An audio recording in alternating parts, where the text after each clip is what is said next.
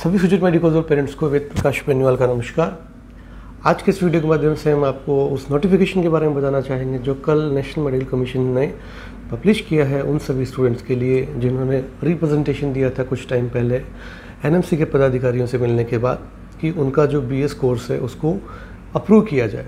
उसी के संबंधित एक नोटिफिकेशन जारी किया गया। ये नोटिफिकेशन के बाद में वो सभी स्टूडेंट्स जो बीएस की स्टडीज़ कर रहे हैं, भले वो 2020 बैच के हों या 21 बैच के हों, और वो सभी स्टूडेंट जिनका अभी तक 18 ग्यारह दो से पहले एमडी का डिग्री स्टार्ट नहीं हुआ, सभी स्टूडेंट्स पे एक संकट आ गया है। उनका दो साल का पैसा और दो साल का टाइम दोनों अभी वेस्ट होता दिख रहा है। हालाँकि अभी भी कुछ होप है कोर्ट के थ्रू कोर्ट में केस है, वो कितना टाइम लेता है लीगलिटीज़ वो एक अलग बात है।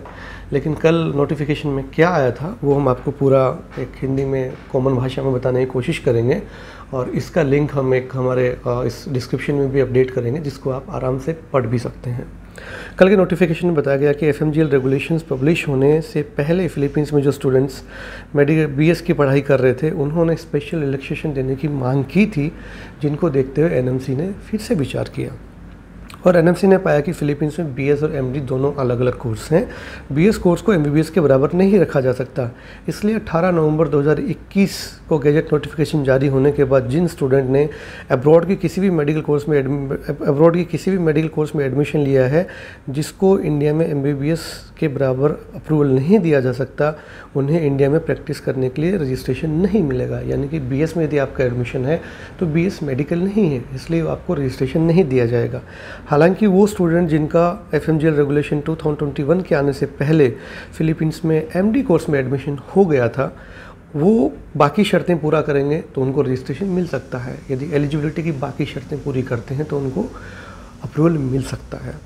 थर्ड पॉइंट में उन्होंने लिखा कि ब्रिजिंग कोर्स फिलीपींस में जो बी कोर्स है, वो साइंस और रिसर्च के क्षेत्र में कोर्स ज्वाइन करने के लिए एक बैचलर ऑफ़ साइंस का कोर्स है। इस कोर्स में बायोलॉजी शामिल है, जो इलेवेंथ और ट्वेल्थ में इंडिया में होता है। फिलीपींस में बीएस जो आप पढ़ते हैं, वो प्री मेडिकल कोर्स है, जिसको पूरा कर लेने के बाद एमडी कोर्स में आपको एडमिशन मिलता है। एनमेट एग्जामिनेशन में भी हिस्सा लेना पड़ता है।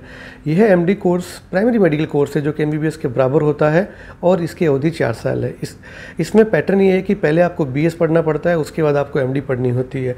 यहाँ जिस बीएस कोर्स की बात कर रहे हैं, उसमें स्टूडेंट प्री क्लिनिकल विषय, जैसे एनाटॉमी बायोकेमिस्ट्री बायोफिजिक्स माइक्रोबायोलॉजी आदि नहीं पढ़ाए जाते हैं।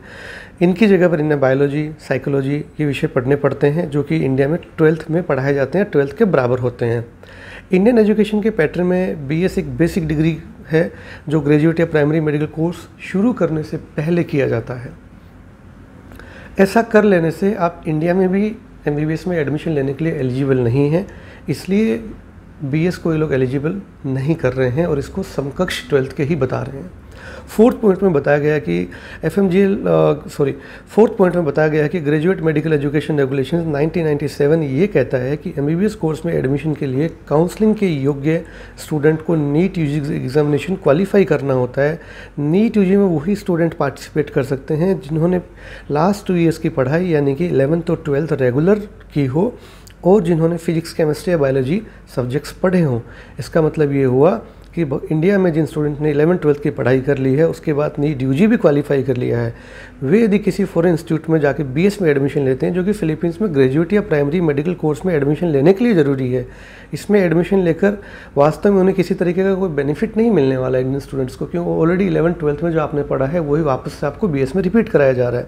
इसलिए फिलीपींस में ग्रेजुएट या primary medical course BS course को जो ड्यूरेशन है वो काउंट नहीं की जा सकती है। साथ का साथ ही रेगुलेशंस किसी भी एक कंट्री को देख के नहीं बनाए गए हैं, ना ही किसी एक कंट्री को टारगेट करके बनाए गए हैं।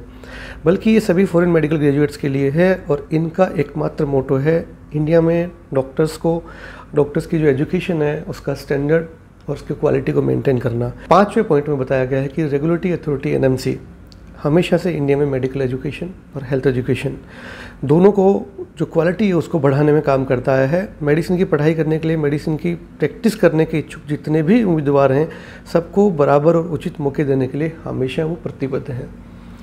और मेडिसिन की प्रैक्टिस में इंसानों की जान का खतरा होता है, इसलिए कमीशन भारतीय मेडिकल एजुकेशन के ऊँचे स्टैंडर्ड को और इसकी क्वालिटी को मेंटेन करने के लिए किसी भी तरह का कॉम्प्रोमाइज़ करने को तैयार नहीं है। अब कंक्लूज़न इसका ये आता है कि जिस हिसाब से एनएमसी का रवैया है या नेशनल मेडिकल कमीशन जो ये अपना रवैया दिखा रहा है, उस हिसाब से ये बात साफ़ सी ज़ाहिर है कि वो इस मूड में नहीं है कि इन स्टूडेंट को कोई रिलैक्सेशन दिया जाना चाहिए। अब एनएमसी के अलावा कोर्ट के थ्रू यदि कोई राहत मिलती है तो एक अलग बात है। मेन वाइल इस सिचुएशन पे आप सभी स्टूडेंट और पेरेंट्स के सामने एक सिचुएशन ये है कि अब आपको क्या करना चाहिए। तो यदि मैं आपकी जगह होता या मेरा कोई रिलेटिव या मेरा कोई सिबलिंग अभी इस सिचुएशन में होता तो मैं सबसे पहले थोड़े टाइम के लिए वेट करता क्योंकि नोटिफिकेशन कल ही आया है। सडन में 24 फोर आवर्स या 48 आवर्स में कोई समाधान नहीं निकलने वाला, या इसकी अपील कहीं इतनी जल्दी नहीं होने वाली है। इसलिए यदि आप इस सिचुएशन में हैं तो मेरा सजेशन आपको ये होगा कि थोड़े टाइम के लिए वेट कीजिए, क्योंकि जो आपका one and half year two years already जा चुका है, वो टाइम अभी हमारे पास लौट के वापस नहीं आ सकता। लेकिन फाइनेंशियली आप एक बार यदि आपने फ़ीस वगैरह नहीं पे की है तो आप उसको कुछ टाइम के लिए होल्ड रख सकते हैं एटलीस्ट एक से दो वीक के लिए। एक से दो वीक के अंदर क्या होता है क्या क्या प्रोग्रेस होती है, और कहाँ कहाँ इसका विरोध जताया जाता है, कहीं से कोई ऐसी आशा की किरण दिखाई देती है जिससे हमें लगता हो कि हमारे डेढ़ या दो साल बच सकता है और हमारा पैसा बच सकता है तो यही हमारे लिए बेहतर होगा। ऑलरेडी ये मार्च के एंडिंग में हम लोग हैं 2021 के सेशंस मुझे नहीं लगता कहीं हैं हैं तो किसी प्राइवेट इंस्टीट्यूशन में होंगे और मैं आपको पहले भी बहुत सारे वीडियोज़ में बोल चुका हूँ कि किसी भी प्राइवेट कॉलेज में आप हार्ड ब्राट में एडमिशन मत लीजिए।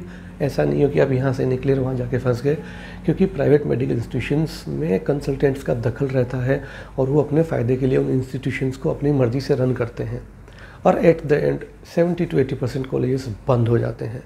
तो आप ऐसा बिल्कुल नहीं करें कि हड़ ब्राट में आप दूसरी जगह एडमिशन के लिए भाग दौड़ करें, आप पैसे दें, आप ये करें कि हमें बैक गेट में एडमिशन कराओ, ये कराओ। आप ऐसा प्लीज़ बिल्कुल कुछ मत कीजिएगा और थोड़े टाइम के लिए आपको at least one two two weeks के लिए आपको पेशेंस रखना है। इसमें कहीं भी भाग दौड़ने से या हापादापी करने से समाधान इतना आसानी से नहीं निकलने वाला है। आशा की किरण इसलिए दिखती है क्योंकि ऑलमोस्ट दस हज़ार स्टूडेंट हैं जो अभी फिलीपींस में कैरेबियन आइलैंड्स में बीएससी या प्री मेडिकल में भी पढ़ाई कर रहे हैं। क्या होता है, ये देखने का विषय है। मीन यदि आपको किसी भी तरह कोई डाउट्स हैं तो आप हमें कमेंट के ज़रिए पूछ सकते हैं, दिए गए व्हाट्सअप नंबर पर टेक्स्ट कर सकते हैं और इंस्टाग्राम पे भी आप हमें मैसेज कर सकते हैं। धन्यवाद।